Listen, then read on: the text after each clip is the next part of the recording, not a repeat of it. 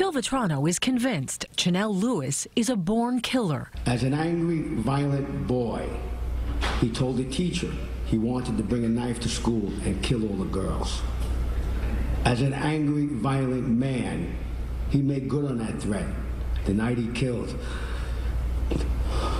the brightest light in the world, my baby girl.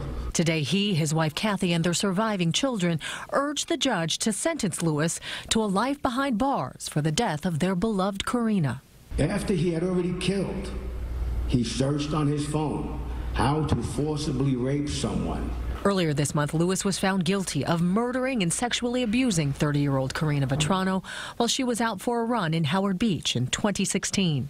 Vetrano's mother condemned Lewis in court. While we suffered and died a million deaths every second of every day, you breathed, you ate, you searched your phone for pornography. You were, you are, and you remain true to your character as a pathetic, evil coward.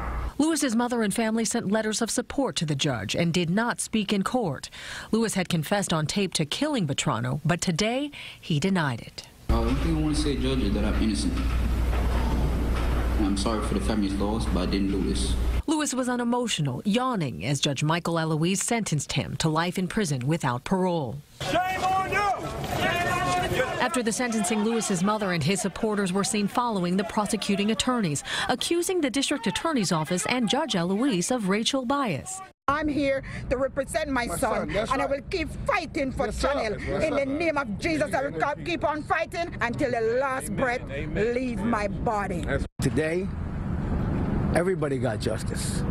Karina got justice, and the murderer got his justice. As the judge said in court, this is a lose-lose for both families, and the emotional journey is not over. Chanel Lewis's attorneys say they plan to appeal.